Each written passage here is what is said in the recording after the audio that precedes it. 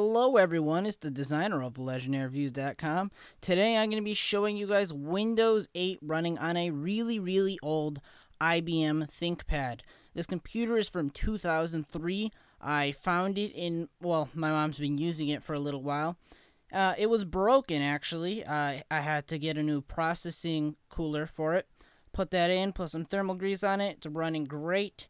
Um, now I I put Windows 8 on it, you know, to test it out and to test how how Windows 8 would run on a really old computer with an outdated processor. Um, it's got a decent amount decent amount of RAM. I'm gonna give it that. But um, let's see how this runs. Well, this is the consumer preview for Windows 8. I showed you guys uh, what the the developer preview looked like. And uh, since the developer preview, a lot of things has cha- have changed. I'm going to show you guys what what how, what this uh, Windows 8 runs like without the recording software. And I'm going to switch to my camera right now. Alrighty, and now I've switched to the camera, and as you guys um, can see right here in um, the corner of the screen, there is no longer um, a start menu uh, button there.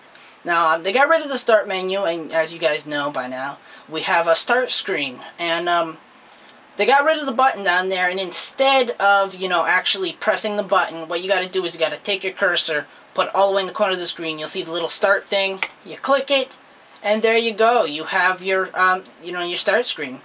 And the start screen has changed. It lets you customize all the colors. Um, let's go back to the desktop. As you can see, very snappy, very quick. It's just a quick little fade back to your desktop. It's very fast, especially on a computer like this. Now, um, I also want to show you guys the Task Manager. Uh, now, when you open up the Task Manager, you're given a, a little simple, um, you know, Task Manager here. And um, what, what you could do is you could simply just close apps. But if you click More Details, you guys could see how much of your CPU, how much of your memory, how much of your disk, and how much of your internet is being used by each individual app. And this is very good, um, especially for people that are running on a tablet for using a 3G or 4G network. And, um, you know, you, you want to know which app is killing your data plan. You'd be like, you just look here and be like, oh, wow, that app is using a lot of data. And then you could close that app from here. And it's also good if you have a really, let's say you have a really junky tablet, it only has 1 gigabyte of RAM. Now in reality, most of these tablets are, are going to have at least at the minimum of 2 gigabytes of RAM for this operating system to run really smooth. Um, and, um, you know, you have a bunch of apps open and you want to know which app is, you know, really slowing down my operating system. And, you know, you can look here, it'll tell you, wow, wow, you know, the, the Windows Store right now is using a lot of memory. I should close that down. And that will help you get more performance out of your tablet. And here, if you click on the Performance tab, it just shows you um, how much uh, CPU, memory, disk, and um, how much of your internet you're using in general. Um, one thing I like here is uh, the CPU tab here it, it shows you exactly um, the speed your processor is running at. And I think that's really cool, especially for people that are overclocking their uh, processors. This is a really good tool for gamers, you know, to check on, you know, what speed your uh, processor is running at at the moment. And it updates all the time. It'll tell you what speed it's running at. L let's see if we can make it go a little bit higher by moving that. There you go. It went up all the way. Alrighty, and um, you know, you, you also have uh, app history. It shows apps that you've used in the past, and if one is using a lot of data, it highlights it. The app that is using the most data is going to be highlighted. Uh, you also have startup programs here that you could add. You could remove them as well um, users. If you have multiple users, it tells you how much RAM each user is using up. And um, you could actually disconnect that user if you're on a, a different on a different user and you you know you want to you know use more RAM and you know that is obviously stopping you if you have multiple people using the let's say the same tablet and um, you know your your sister logged in and you um you want to close her account, but you, you don't have the password. Well, you don't need the password. You can automatically just disconnect it, which is very good. Alright, I'm also going to show you guys Windows Explorer. Windows Explorer has changed a lot. They've um, added ribbons that, um, you know, these ribbons originated from Microsoft Office 2007. And um, as you can see, there are ribbons. It does make it easier to uh, navigate Windows Explorer. Uh, you also have a, um, a button that goes uh, back, which is real nice.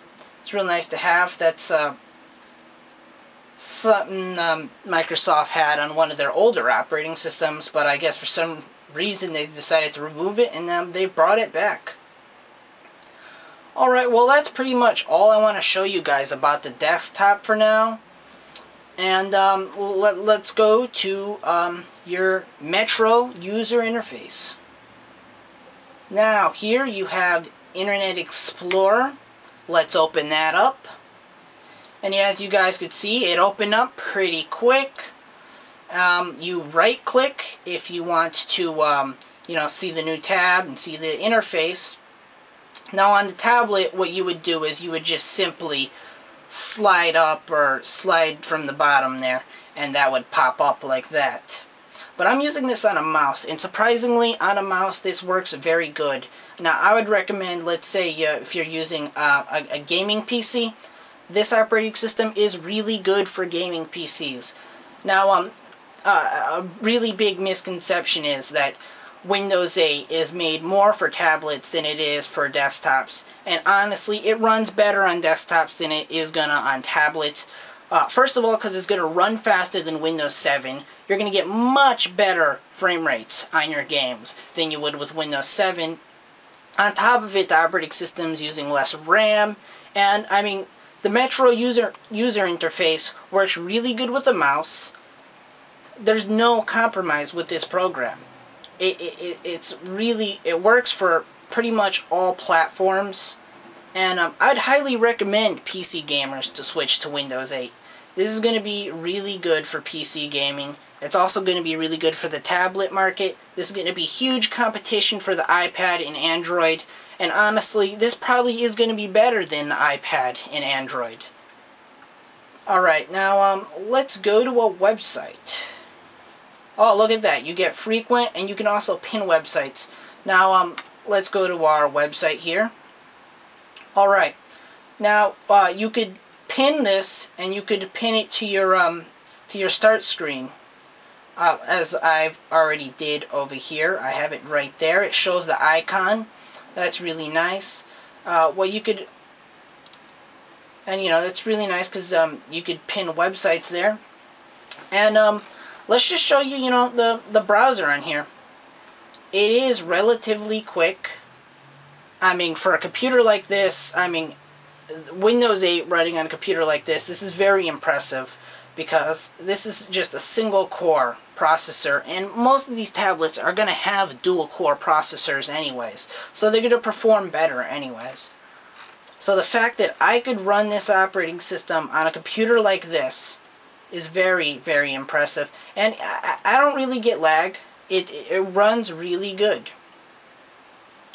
alright and uh, you know a little thing I like here is um, if you go to this side there's a that's the back button that's a really cool back button. It's very, very nice to have.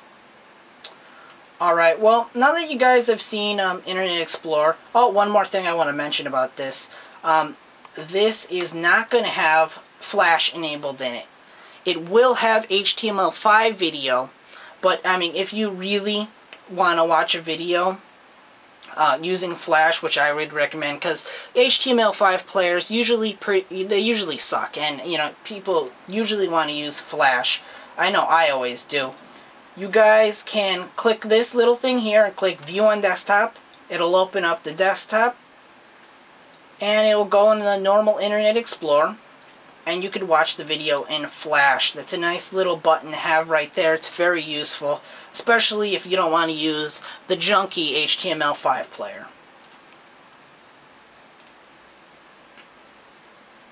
Alright, and I'm gonna just going to show you guys the store right now. Now, as you can see, that opened up pretty quick. I like that. Um, right now, they have quite a few apps out here. But of course, when the operating system comes out, there's there's literally going to be thousands and thousands of apps. Uh, let's just show you what a, an app page looks like. Um, there you go. You can flip through images. You can see details on it. You could also see reviews, and as you can see, there's already quite a few reviews up. And um, details. It'll tell you what processors uh, this app is going to run on. And um, it, that's pretty much almost every processor Windows 8 is going to be on. Except for they did not include Qualcomm. They're going to be in there as well. I'm sure there's going to be quite a few tablets with them and uh, with that those processors in them. And those are the processors you would find in your smartphone. Alright, now I'm going to show you guys uh, uh, this, cool little thing because uh, in the start menu there was um, there was this thing where it would uh, let you see all your programs. All you do is right click on the start screen, click all apps. There you go, you got all your apps right there. Uh, now, the search has pretty much stayed, stayed the same since my other video.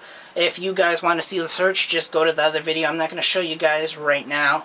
Because unfortunately, this computer does not have a Windows key on it. This is a, you know, a pretty old laptop. I wish it did have a Windows key because the Windows key is very useful in um, Windows 8. I'm just going to show you guys uh, the, the lock screen right now. Uh, you could customize the picture in the back, of course. You get a little alerts from apps that come down here. Let's say you could have a weather app, you know, show you the weather on the side here. That's really nice. That's something, you know, the iPad has. Another thing that I hope for is um, eventually maybe uh, the Windows Media Player or the Zune software uh, will, um, you know, integrate a little player in here. So, you know, uh, if you lock your tablet, you know, you could um, just quickly, you know, access your music through there. Now I'm going to enter my password.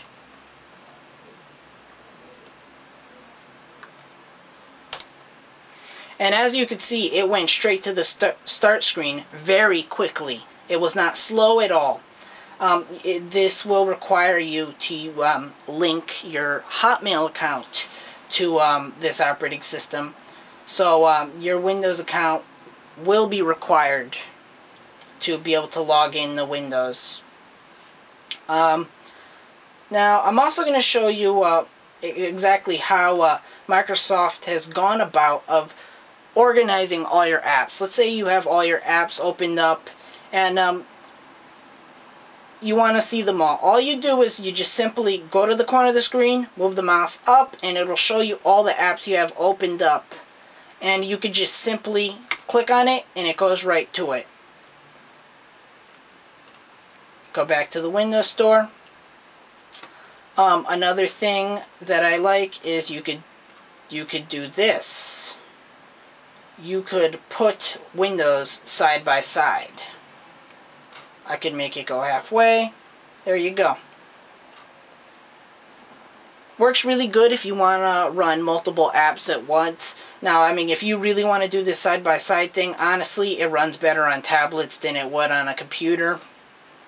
But, you know, everything else pretty much works better on a normal PC with this operating system.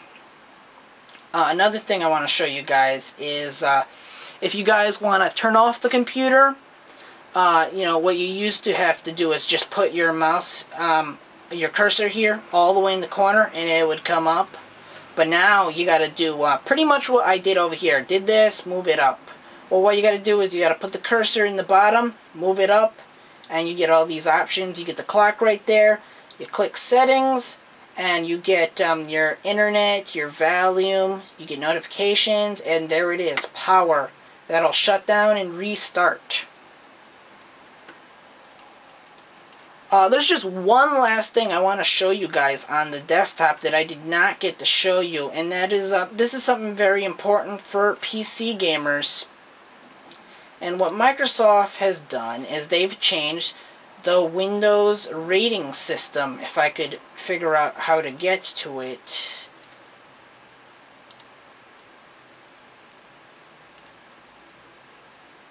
Here we go.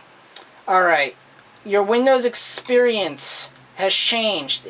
Back then, in Windows 7 and in Windows Vista, it went to 7.9. Well, now that processors are getting much more powerful and graphics card cards are getting much more powerful, it goes to 9.9 now instead of 7.9. So your scores are going to be lower now. So, um, you know, getting that $1,000 LGA 2011 uh, i7 would uh, really be useful. Now, I'm not sure where the that i7 would uh, rank on this computer, but as you can see, my rank is 2.0 on this really junky laptop. Uh, so that's basically about it. Don't forget to go to legendaryreviews.com for game reviews, downloads, and much, much more.